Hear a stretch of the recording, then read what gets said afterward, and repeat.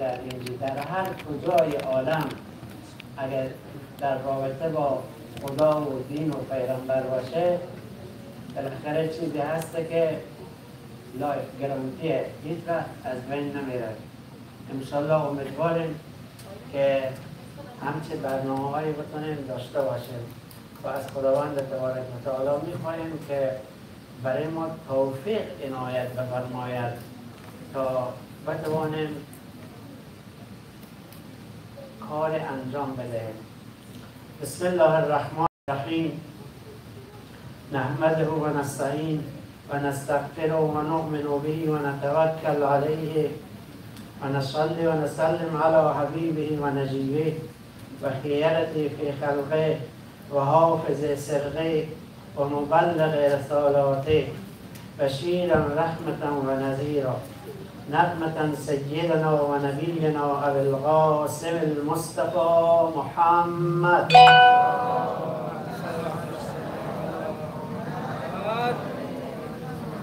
صلى الله عليه وآله وسلم وعلى آله الطيبين الأطهرين المنتجبين الهداة المهديين سيما بقية الله في الأرزين وصل على أئمة المسلمين وحماة المستضعفين وعداة المؤمنين.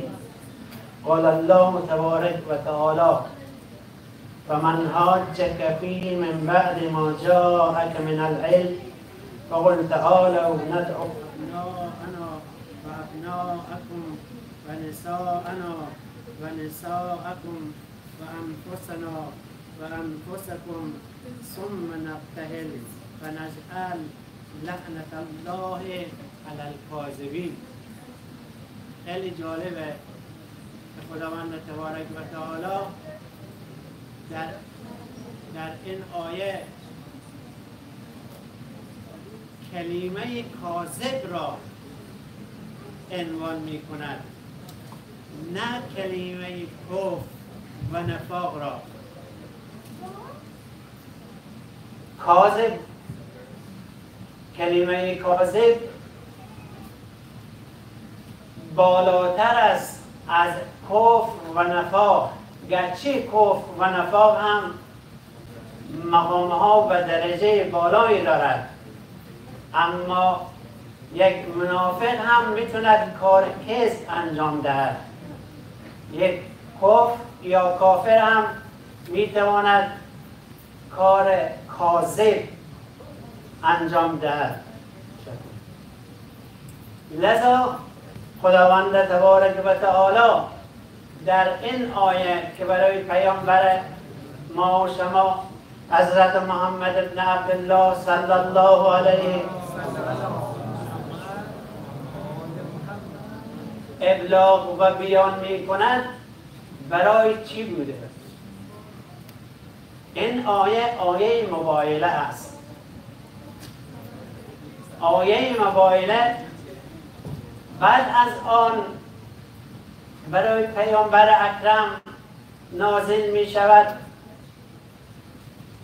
که مسیحیان در مقابل عقیده و آرمان پیغمبر میستادن حرف خودشان می‌زدن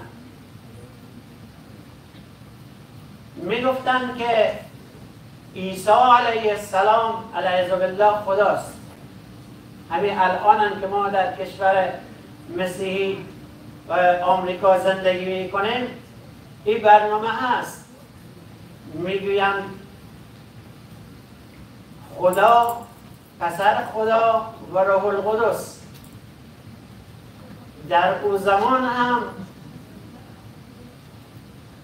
برای پیامبر اکرم می‌خواستند بقبولانند. یکی است که می‌گویند و الان در کشورهای مختلف هستند. خب هر چی که میگم باشه. خداوند تبارک و تعالی هیچ زمانی مخالف هیچ قوم و گروهی نیست. هر مدلی که خواسته باشن زندگی کنن خداوند اونا به انجیل کاور می‌کنه و پشت نمی کند از اونا حتی شما اگر در داستانی که او بود پرست هی سنم سنم می‌گفت یک لحظه از زبانش خطا خورد گفت ای سمد خداوند تبارک و تعالی سبر لبه گفت برای چی؟ این برای جذب بشریته برای جذب بندگان خدا به سوی خدا. الان در هر کجا یهودی هست سارا هست مجوس هست هر چی که هست باش. اما نمی‌توانند عقیده و آرمان خود را بیایند بقبولانند. مهم اینجاست. مسیحیان نجران نجران یک منطقه از کشور حجاز است که امروز عربستان می‌گویند. اینها مسیحیان زبده بودند که خیلی هم متعید بودند. اما امروز ما اکثر حالا یک عده اکثر نمیگیم یک عده مسیحیانی هستن مثل ما مسلمان ها که به عقیده و آرمان خود پایبند نیستند ولی اونها به اندازه پایبند بودند که پیغمبر اکرم صلی الله علیه و آله و سلم را می‌خواستند به چالش بکشانند و می‌خواستند عقیده خود را برای رسول خدا بقبولانند. اما پیامبر زیر بار نرفت. گفتند عیسی پسر خداست. پیغمبر اکرم گفت نه. گفتم عیسی خداست. گفت نه. آیه نازل شد. خداوند تبارک و تعالی آیه نازل کرد. گفت شما اگر می‌گویین که عیسی فرزند خداست یا خود خداست او عبدالله است بنده خداست بنده ماست. پس لذا ما همون قسمی که آدم را پریدیم گفتیم باش به وجود آمد. پس لذا به وجود آمدن یک عیسی پیش خداوند تبارک و تعالی هیچ کار مهمی نیست. آدم اول بشر به عظمت و بزرگی که همه انسان ها از ذری او هستند او را با آن به وجود آورد. لذا پیامبر اکرم گفت من زیر بار نمی روم بیاین معقول صحبت کنیم بیاین آنچه که شما در عقیده و توان شما هست بیان کنید اگر تونستین ما را بقبولانیم که قبول می‌کنیم که مشخصه که پیامبر اکرم از طرف خداست و همه چیز براش واضح و بیداست لذا پیامبر اکرم گفت چاره ای نیست. چاره ای نیست مگر این که ما و شما یک برنامه ریزی فرهنگی و عقیدتی داشته باشیم. چی برنامه؟ طبق همین آیه. برای مسیحیان گفت شما فرزندان خود را بیاورید من هم فرزندان خود بیارم. شما زنان خود را بیاورید من هم زنان خود را می آورم شما نفسها و انفسهای خود را بیاورید من هم میارم اینا قبول کردم. هر که آمدن گفتن که عیسی پسر خداست عیسی خود خداست پیامبر آیه آورد. گفت از آیه نه بنده خداست عبدالله مثل شماست. منطقه به درجه پیغمبری است شما در حالت عادی.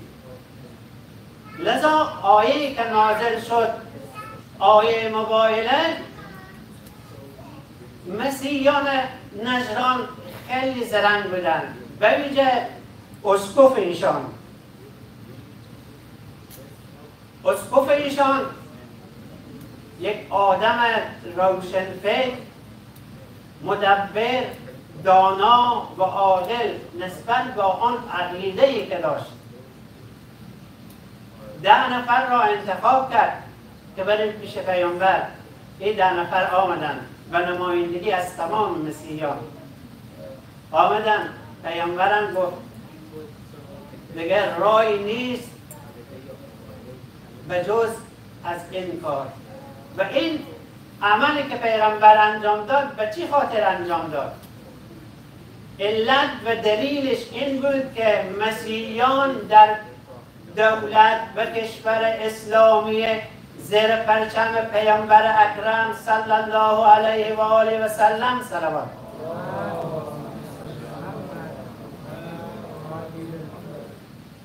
زندگی می‌کردن آقا اینا مثل شطور بودن با معذرت.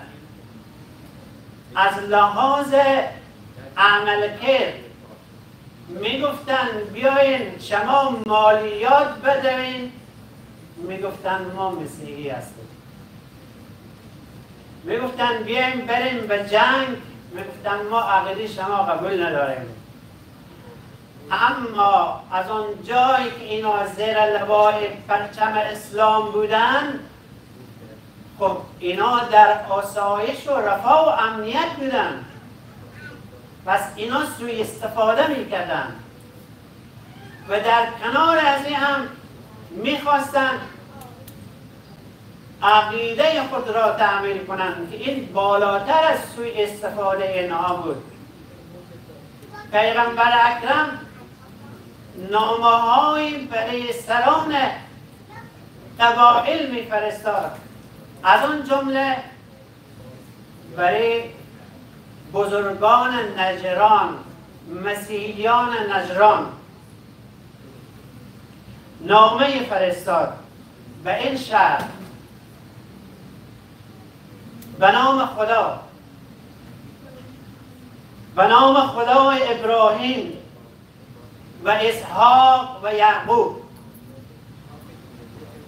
این نامه است از محمد پیامبر خدا صلوات.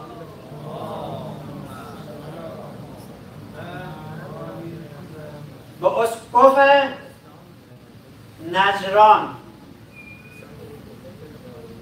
خدای ابراهیم و اسماعیل و یعقوب را ستایش می کنند و شما را از پرستش بندگان و پرستش خدا فرا می خوانم شما را دعوت می کنم که از ولایت بندگان خدا خارج شوید.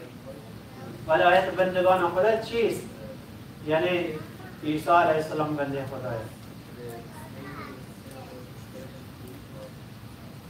شما را دعوت می کنم که از ولایت بندگان خدا خارج شوید و در ولایت خداوند درآیید و اگر دعوت ما را نپذیرفتی باید به حکومت اسلامی مالیات بپردازید تا در برابر این مبلغ از جان و مال شما دفاع کند.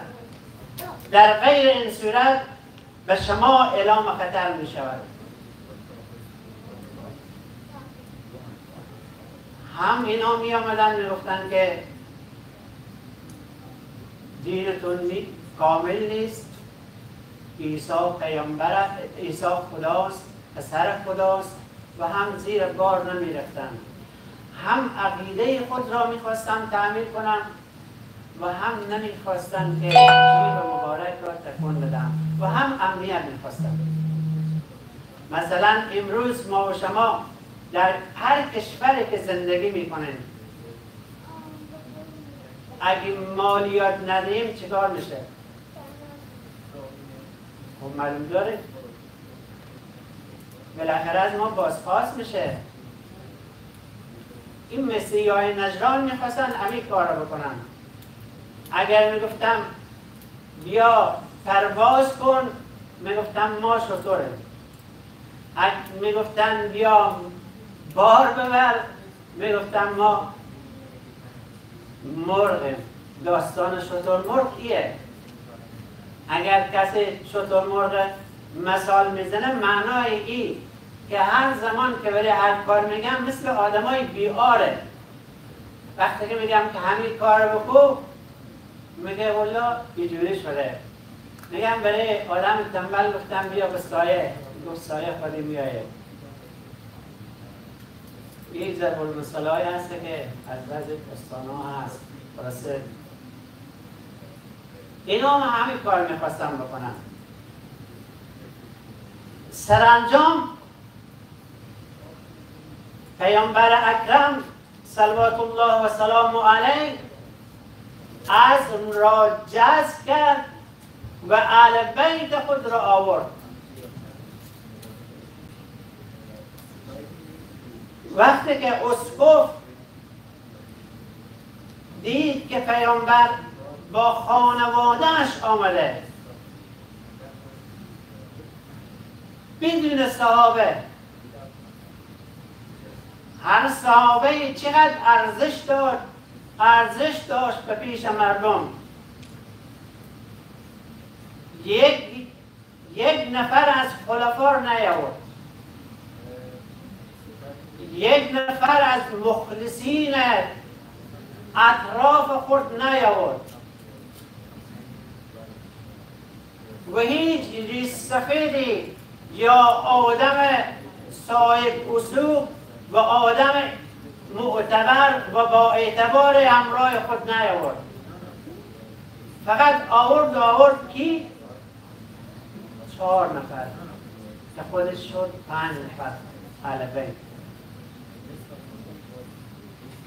فاطمه زهرا سلام الله علیها را که آورد به عنوان زنان به عنوان نمایندگان زنان. چون گفته بود شما زنان خود را بیاورید من هم زنان خود میارم پس اینجا مشخص می شود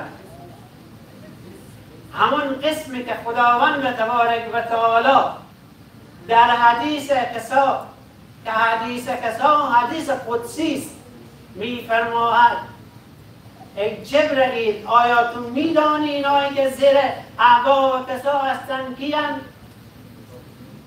نگفت پیغمبر نگفت علی. گفت فاطمه تو و ابوها و بعلها و بنوها. اول اسم فاطمه زهرا برد. یعنی خداوند تبارک و تعالی انقدر برای زن آزادی داد. انقدر برای زن اهمیت داد که اسم فاطمه زهرا اسم دختر پیغمبر را قبل از اسم پیغمبر آورد. اما در جاهای بحث می شود اگر زن هجاب نداشته باشد اگر زن فلان نباشد زن مسلمان کاری نیست نه. کسی که سازنده زن است. کسی که آفرینده زن است. او را اول بلست می آورد. فاطمه و ابوها یعنی فاطمه زهرا را اول می آورد. و در مباهله در آن صحرایی که قرار بود خانواده و اطرافیان خود را ببرد فاطمه زهرا برد. پس می‌دانیم و می‌فهمیم که مقام زن در اسلام چقدر بالاست چقدر با ارزش است.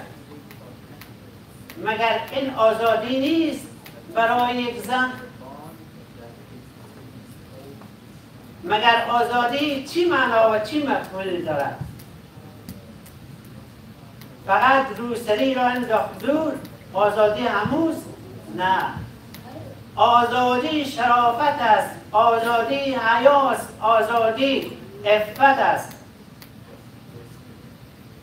پس لذا مقام زن از اول اسلام مشخص بوده.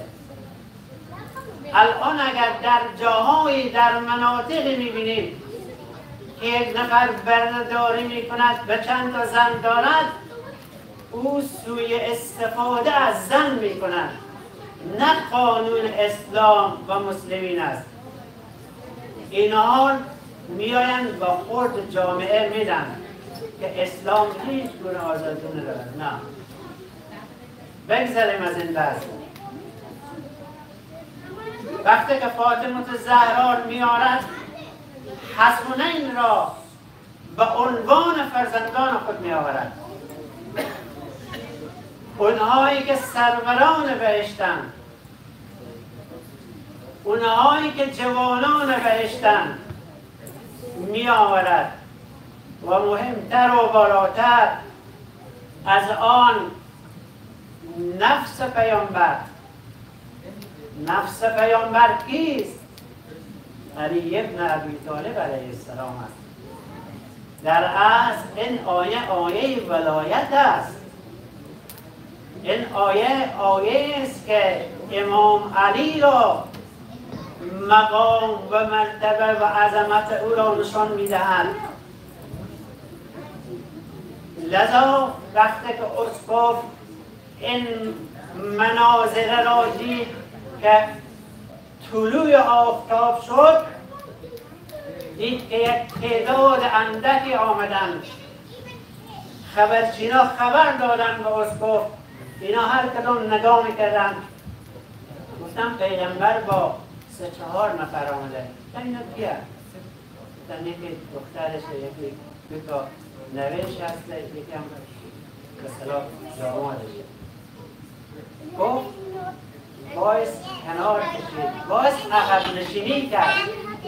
اگر اگر اینا دست به دعا بالا کنند و اطرافیان از اینها آمین بگویند ما با این کوها خاک و خاکستر می‌شویم. لذا عقب نشینی کردن. آمدن برای پیغمبر گفتن آنچه را که تو گفتی ما قبول می‌کنیم. ما در زیر لوا و پرچم تو زندگی می‌کنیم. و در قبال از او هم آن چیزی که قرار بود و گفته بودیم ما انجام میدیم. همون مالیات که در قدیم جزیه می‌گفتن. و آمدن این کار را کردن و پیامبر اکرم هم برای ایشان برنامه ریزی کرد. اگر زمانی که جنگ شد شما بایست چقدر هست و چقدر امکانات نظامی و چقدر مواد و غذا برای سربازانی که در جنگ می‌روند و از شما و دیار شما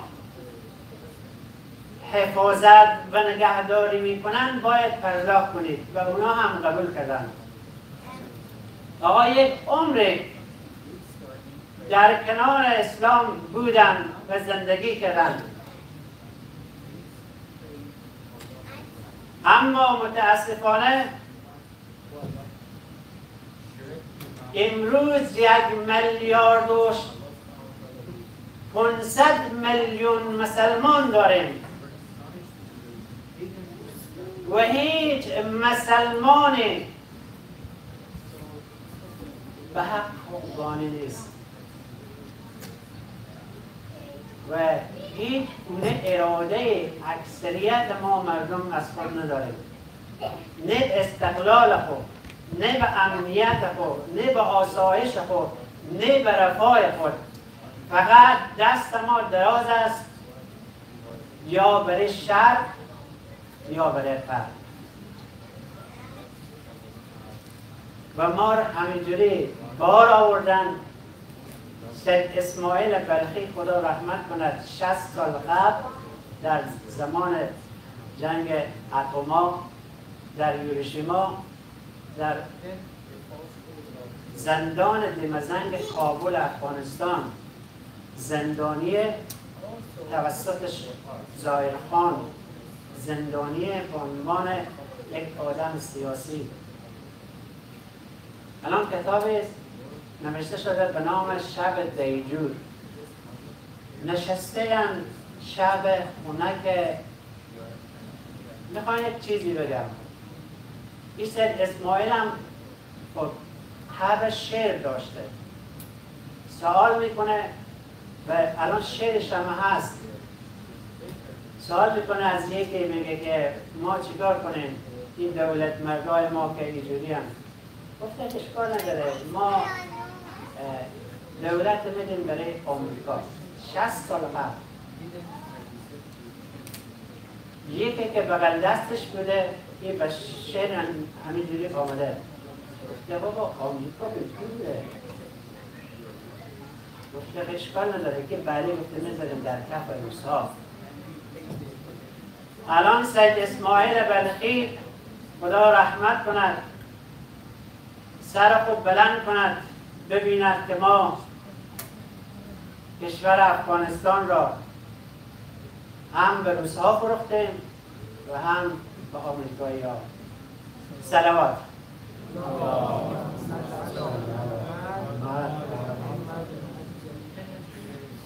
از شب عید و شب موایله یک کمی بریم به طرف اول محرم. نوکری و خدمت در دستگاه امام حسین علیه السلام.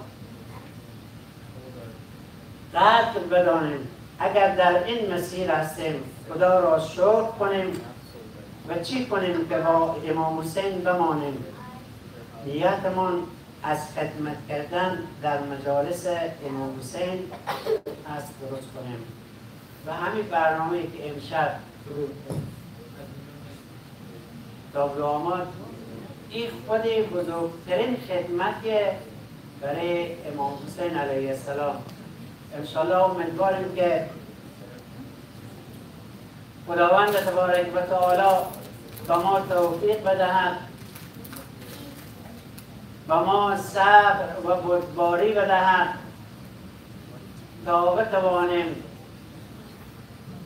گریم اعضای امام حسین علیه السلام را پند کنیم و میزبان و میمان عزاداران آقا امام حسین علیه السلام باشیم چون حسین ابن علی علیه السلام کاری کرد که تمام کننده تمام اولیا و انبیا کرد. وقتی که ما میگیم السلام علیک یا ابا عبدالله وعلى الأرواح التي علت بفنائك. عليك مني سلام الله أبدا. ما بقيت وبقي الليل والنهار. ولا جعل الله ولا جعل الله.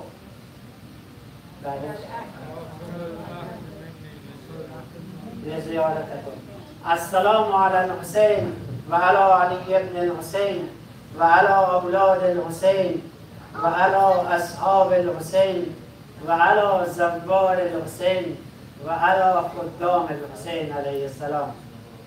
امیدواریم که خداوند تبارک و تعالی برای ما و شما توفیق بدهد که بتوانیم این ده شب محرم را آن اسمی که امام حسین بخصوص مادر گرامیش حضرت فاطمه سلام الله علیها میپسنده ما در خدمت خادمین و زوار و عزاداران حسین ابن علی علیه السلام باشیم. اللهم كل وليك الحجة ابن الحسن صلواتك عليه وعلى آبائه في هذه الساعة وفي كل السائر وليا وحافظا وقائدا وناصرا ودليلا وعينا حتى تسكنه أرضك توعا وتمتعه فيها طويلا برحمتك يا أرحم الراحمين. صلوات. اللهم صل على محمد و آل محمد. وعجل اللهم في فرج مولانا صاحب الأسر والزمان.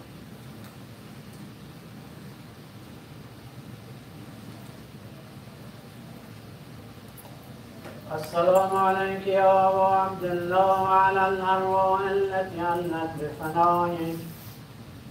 عليك مني سلام الله أعبد وما بقيت وبقي الليل والنهار. ولا جعله الله آخر الأهل مني لزيارتكم. السلام على الحسين وعلى علي بن الحسين. وعلى أولاد الحسين وعلى أصحاب الحسين وعلى زوار الحسين جميعا ورحمة الله وبركاته. السلام عليك يا مولاي يا غريب الغرباء يا معين الضعفاء والفقراء السلطان أبو الحسن يا علي بن موسى الرزاق ورحمة الله وبركاته السلام عليك يا مولا يا صاحب الزمان يا شريك القرآن يا غادي القرآن السلام عليك وعلى آبائك الطيبين الطاهرين جميعا ورحمة الله وبركاته برای سلامتی ظهور و فرج آقا امام زمان اجماعا صلوات.